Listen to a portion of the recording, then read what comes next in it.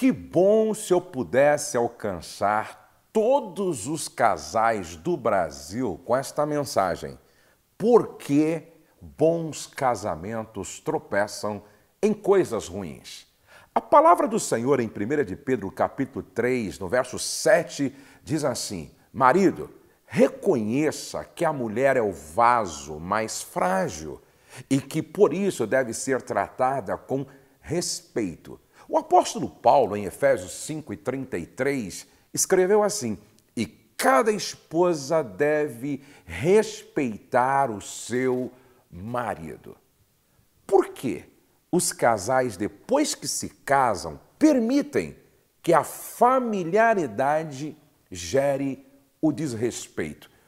Porque os casais, depois que se casam, permitem que a familiaridade gere o desrespeito. Gente, o respeito é um valor que, se não for preservado, o relacionamento, com o passar do tempo, vai se tornando insuportável. Uma pergunta interessante: por que muitas vezes ferimos quem mais amamos? É, por que ferimos quem amamos tanto? É com respeito que a gente constrói um ambiente que favorece a comunicação e o crescimento. Você quer construir um ambiente que favoreça a comunicação e o crescimento? Então, não perca este valor, esse valor chamado respeito. Respeito é uma das expressões de amor. Quem ama, naturalmente respeita. O respeito é uma das expressões de amor. O amor me faz bondoso e a bondade me faz uma pessoa agradável. Uma pergunta para você: é para você, marido, para você, esposa, você é uma pessoa agradável no relacionamento de casal e de família? Você é uma pessoa agradável no seu relacionamento de casal e de família? O apóstolo Paulo escreveu: Irai-vos e não pequeis. Ou seja, mesmo no momento de ira, mantenha o respeito. Agora, você quer conhecer uma regra de ouro para preservar a saúde do casamento? Quer conhecer uma regra de ouro para preservar a saúde do casamento? No seu relacionamento, preste atenção, no seu relacionamento de casal e de família, use a mesma conduta e tom de voz que você usaria com uma pessoa que você acaba de conhecer. Como é que você trata uma pessoa que você acaba de conhecer? Não é mais ou menos assim? Muito prazer. Como foi a viagem? Fez boa viagem? Senta, por favor. Um copo d'água, um copo d'água muito bem. Aí a pessoa, quando vai pegar o copo d'água, cai da mão dela e quebra, não é? O copo quebra. Como é que você se comporta? Não, não, não, não se preocupe. Não. Querida, por favor, um outro copo d'água, não se preocupe. Quando a gente acaba de conhecer uma pessoa, esse é o tom de voz.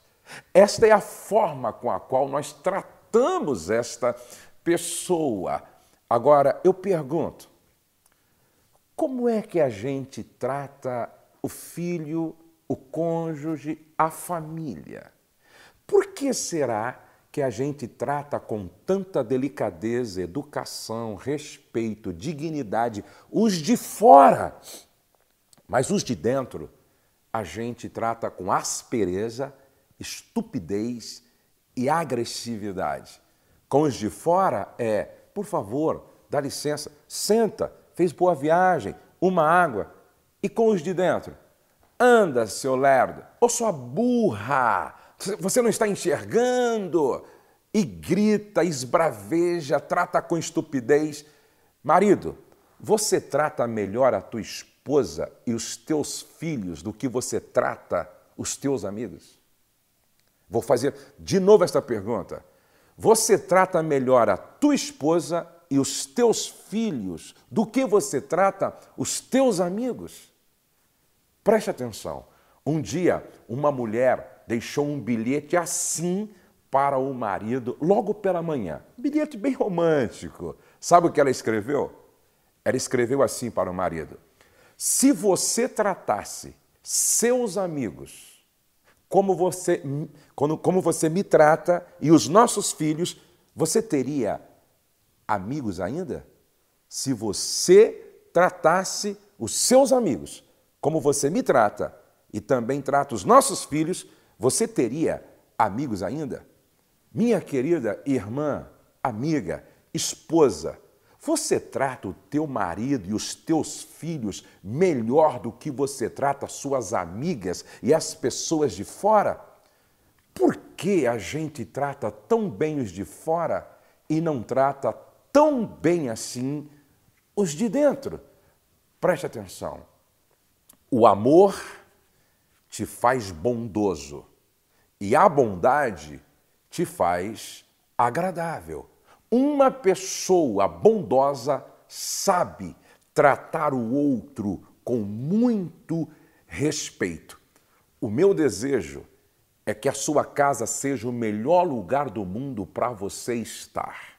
E lembre-se, é com respeito que a gente constrói um ambiente que favorece a comunicação e o crescimento. O amor te faz bondoso.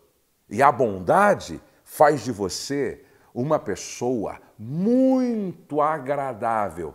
Seja uma pessoa nutridora. Por que bons casamentos tropeçam em coisas ruins? Porque muitas vezes nós perdemos esse valor tão essencial chamado respeito. Deus abençoe você, Deus abençoe seu casamento e toda a sua família.